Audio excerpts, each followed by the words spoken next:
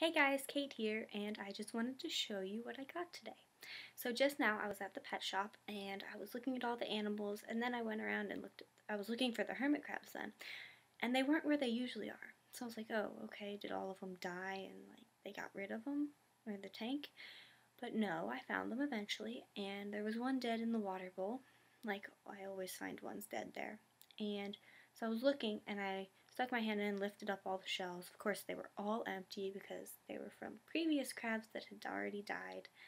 So I was really disappointed. And then I found this little guy, and he was the last one left.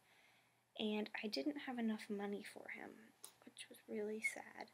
And I couldn't wait. I figured I don't want to wait till my mom gets here because then she'll be like, no, you can't have another one because, you know, 10 already. But how could I leave this little guy? He was the only one alive and the rest died. But, so, I had, I counted my money and I had $3.87 and he was supposed to be $7. Ridiculous, right? So, I went up to the lady and I was like, hi, I, how much would this crab be? And she told me, isn't he one of the $6.99 ones? I was like, yes, I believe so.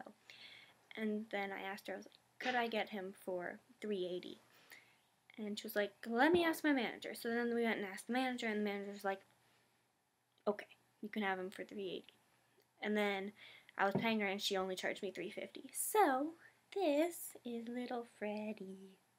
And he's so cute. And hopefully he won't die like the rest.